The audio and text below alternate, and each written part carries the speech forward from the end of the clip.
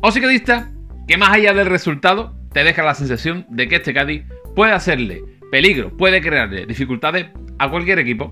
Bienvenido a un nuevo vídeo, quizás sea un poco conformista, pero eh, la realidad es que el Betty eh, fue superior. El Betty hizo un gran partido, eh, sobre todo diría yo que cuando el Cádiz se pone por delante. A partir de ahí empieza, yo creo que más que un paso atrás del Cádiz fue un paso adelante del Betty, que además los cambios le sentaron bastante bien. Es un equipo que arriba tiene muchísima calidad, que es muy complicado pararlo y si además comete mínimos errores, los acabas pagando bastante caro. Creo que el partido se podía al menos haber, empatado. No hubiera sido algo súper injusto el empate. Eh, pero hay que ser eh, realista y el Betis fue superior al Cádiz. Es superior al Cádiz, es un equipo superior, tiene un equipo en general fantástico y ahí están sus números en la liga y también en la Copa del Rey que es finalista. No pudo ser, no pudo ser, pero podíamos llegar a contar con que este partido no se ganase. Sabemos que cada punto es oro para este equipo. Cada punto es oro. Vamos con todas las sesiones habituales de nuestro postpartido. Pero antes, y si aún no lo está, te invito a suscribirte al canal y tener la campanita activa para no perderte ninguno de mis vídeos. También tengo un Twitch, Diego Cadista, por ahí hacemos directo, muchos de ellos nocturnos cadistas. Comencemos por las alineaciones. Especulábamos un poco en la previa eh, si el Betis jugaría con canales Fekir y Juanmi. Ese tridente que pues tan bien le sienta. Pues sí, jugaron con ese tridente, eh, aunque es cierto que cuando mejor estuvo fue cuando apareció eh, gente como Joaquín, como Tello o arriba, Borja Iglesias que no fue titular y fueron los que consiguieron darle la vuelta al partido. Y el Cádiz que salió al final con el 11 del partido anterior. Especulábamos un poco si volvería Choco, eh, si Iván Alejo perdería igual el extremo derecho, si el Mister querría cambiar un poco la cara del equipo, pero no, mismo 11.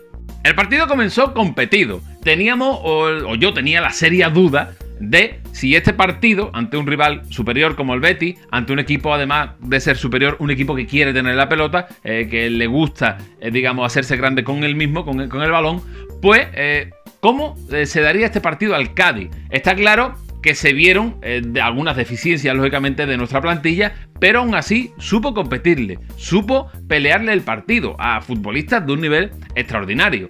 el primer tiempo tuvo alternativa, el Cádiz incluso tiró más a puerta que el Betty, estadísticamente 5 a 3 disparo a portería. Y esto eh, dice mucho de nuestro equipo, un equipo que no le perdió la cara nunca al partido desde el principio hasta el final. El primer tiempo tuvo pocas ocasiones, eh, sobre todo, eh, yo me quedaría con las magníficas aportaciones que, tuvo en el partido tanto Rubén Alcaraz, que sigue siendo un futbolista importantísimo, también a Capo y Idrisi, que estuvo bastante conectando, sobre todo en el primer tiempo. En el segundo periodo, el Cádiz salió bastante bien, estaba bastante sólido, eh, se estaba acercando con bastante peligro. El Betty es cierto que nos dio que tiró un disparo al larguero, que estuvo a punto de hacer el primero, pero el Cádiz consiguió hacer un gol por medio de Iván Alejo, el Garbel de los callejones, que lo celebró como una gaviota, en celebración extraña. El Cádiz, lejos de irse para atrás, lógicamente se metía atrás cuando el Betis apretaba mucho, pero aún así siguió atacando, seguía incorporando bastantes futbolistas al ataque. Y en una de esas, un remate de Negredo la sacó la defensa del Betis, un defensa del Betis en, la línea de gol, a punto de hacer el Cádiz el segundo. Se respiraba en el ambiente de que se podía hacer algo importante, de por qué no ganar al Betis, pero sabíamos, yo creo que al menos, o al menos yo, eh, sabía de las dificultades de este partido y más con los cambios que iba realizando Pellegrini, que iba eh, refrescando a su equipo con futbolistas de mucho nivel. Eh, al no mucho del gol del Cádiz, creo que pasaron unos 10 minutos aproximadamente, 15 minutos nomás, llegó el gol del Betis, de Tello, en un balón donde la coloca al palo perfecta y Ledesma, no sé si pudo hacer algo más, estoy hablando sin ver la repetición, pues encaja ese gol, encaja el 1 a 1. A partir de ahí, el Cádiz, eh, lejos de meterse atrás, lo sigue intentando, pero el Betis en ese momento está muy fresco, está muy hábilmente y nos crea muchísimas circunstancias de peligro. En una de esas, en una jugada un poco extraña, se nos pita un penalti en contra. No he visto la repetición. En directo en el, campo sí me lo pareció. Las cosas como son. Igual después, pues lo vuelvo a revisar y me parece que no. Pero viendo que lo revisó el VAR y que el árbitro después lo vio y que lo pitó, imagino que sería penalti. Eh, gol de Borja Iglesias, que tiene un gesto feísimo a la grada. feísimo de Borja Iglesias. Y es cierto que Joaquín va a él y le dice pide perdón y Borja Iglesias después pide perdón. Y como aquí somos muy buena gente, pues nada, pues se le perdona a Borja Iglesias por pedir perdón. Si no lo hubiéramos pedido, pues nos hubiéramos cagado en todas sus castas. Eso es así. Eh, el Cádiz de ahí hasta el final, pues lo intenta. De nuevo, creo que por parte de Sergio los cambios llegan excesivamente tarde.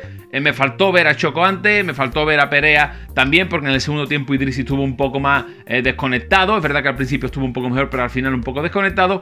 Y Sobrino aportó bastante poquito. Y el equipo se tiró arriba, lo intentó. Hubo un amago de penalti, un balón que cayó en la mano, que como digo, no he visto repeticiones y no puedo opinar sobre él. Pero al final, pues nada, no pudo ser. Nos quedamos pues sin tres puntos que lo teníamos muy cerquita, sin ese punto que al menos tras el gol del Cádiz todo lo veíamos casi como seguro. Y esto pues duele, ¿no? Porque con este puntito el Cádiz hubiera podido incluso adelantar al Granada y estar ahora mismo en el puesto 16. Y así está la clasificación. Todo sigue igual, sin cambios de momento por abajo, pendiente de lo que haga la Mallorca, esperemos que pierdan. Vamos con las claves, la primera de todas, los banquillos. Los banquillos me refiero a los futbolistas que había en el banquillo. Unos aportaron muchísimo y remontaron el partido, goles de Tello y Borja Iglesias, que eran banquillo por parte del Betis, y el del Cádiz, que los que salieron prácticamente ni se notaron. Eh, la segunda de las claves, para mí, y no me gusta hablar mucho de los árbitros, lo sabéis, pero hay que decirlo, la doble vara de medir del árbitro. Doble vara de medir ya no en los penaltis en sí, ¿no? Porque he dicho que en, eh, durante, en el terreno de juego, en directo, que lo tenía relativamente cerca, me pareció penalti. Pero, eh, sobre todo en las faltas y en las amarillas vimos muchas faltas muy similares que a unos se las pitaban y a otras no. Incluso amarillas que a uno se las echaban y a otros no. Le echaron una amarilla a Rubén Alcaraz, que no podrá estar en, otro en el próximo partido, de risa. Una amarilla de risa. Y la tercera de las claves, y ya lo he comentado antes, la tardía reacción de Sergio cuando el partido parecía que se ponía negro para hacer cambios, para darle un cambio de aire al equipo. Y vamos a repartir los likes, como sabéis, un like a todos los que han participado y uno, dos y tres likes extra a los mejores del partido por parte del Cádiz. Vamos a empezar dando un like extra a Iván Alejo, al Gareth Bale de los Callejones. Que es verdad que en el partido tuvo momentos mejores, momentos peores, pero eh, like extra pues es por este añadido del gol que estuvo a punto de darnos algún puntito a, y haberse quedado el Cádiz, como digo, en el puesto 16. Qué lástima. Los dos likes extra vamos a dárselo a el tiburón de Vallecas, a Álvaro Negredo, que prácticamente siempre que participó fue haciendo cosas importantes para el equipo en el ataque. Qué importante es Álvaro Negredo en este Cádiz. Y los tres likes extra voy a dárselo al rockero, a Carlos Acapo, que para mí fue el mejor del Cádiz en este partido. Y así está la clasificación del jugador like, que pues de momento eh, lo de arriba bastante quietos, ¿no? Están puntuando poco los que empezaron la temporada muy muy arribita y ahora hay otros que están en mejor forma. Y hasta aquí, cracks, que no pudo ser, que fue una lástima porque lo vimos muy cerca, pero eh, creo que es justo reconocer la superioridad del Betis, felicitar a todos los buenos béticos, que hay muchos por el mundo. Y nada, que espero que les vaya muy bien. Una lástima que al menos no le han dejado a nosotros un puntito que ellos ya prácticamente tienen la temporada hecha. Señores, que nos vemos ahorita en un vídeo nuevo. Ya serán eh, probablemente, pues casi seguro, los directos. Igual esta misma noche tenemos directo. Y ese Cádiz, oye.